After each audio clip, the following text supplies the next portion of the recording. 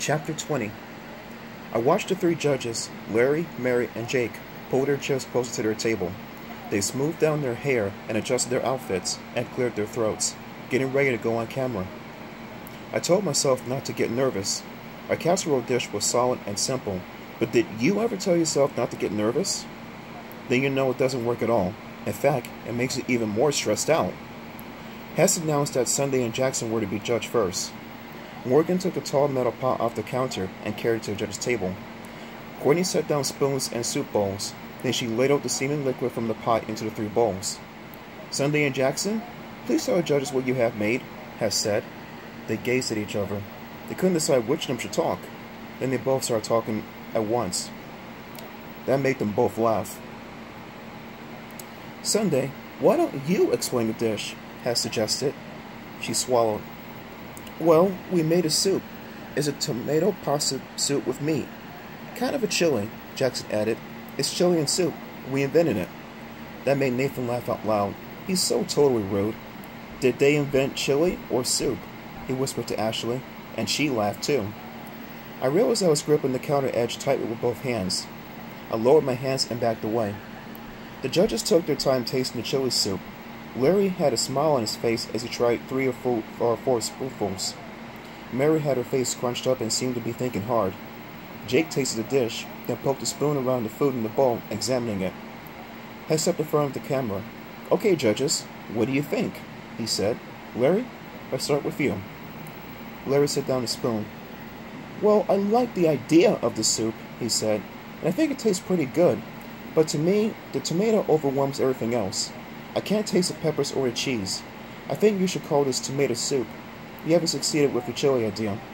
I agree with Larry, Mary said, and I'm finding the soup rather thin. I think you need to spice it up. The green peppers aren't enough to give it flavor. I loved it, Jake chimed in. Of course, I love tomato soup. It's my favorite. And I think the beef and the pasta and the peppers are just an added treat. He turned to the other judges. I would like it a little hotter, he said. I like a soup that burns your tongue, don't you? The other two judges shook their heads no. Hess stepped up again. thank you, judges, and thank you, Chef Sunday and Chef Jackson. Next up, let's sample the dish by Ashley and Nathan. What dish have you prepared? It's an eggless frittata, Nathan said. It's an Italian dish, a little like an omelet. Only an omelet is cooked fast, Ashley added. A frittata is cooked slower, and a frittata doesn't have to be served right away.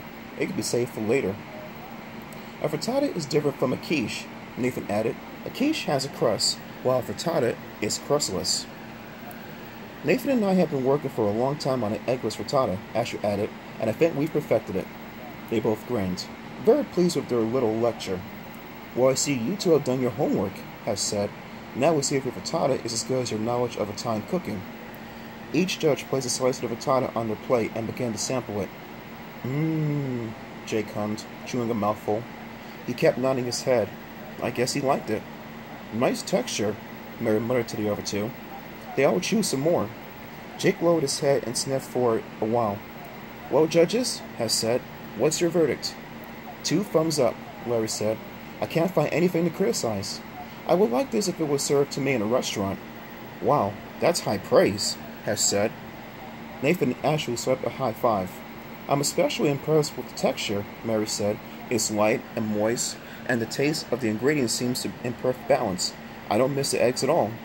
I think it's a little too crumbly, Jake said, poking the frittata on his plate with his fork. But you had so little time to make it. I'm very impressed with it. He also flashed two thumbs up. Nicole bumped my arm. They're going to win, she whispered. No way, I whispered back. I think we've got this one. That was a lie.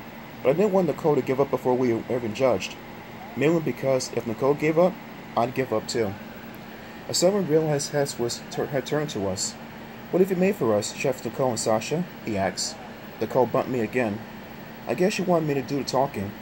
It's a pasta casserole, I said. Very simple. I guess you call it a comfort food. Perfect for a cold winter day.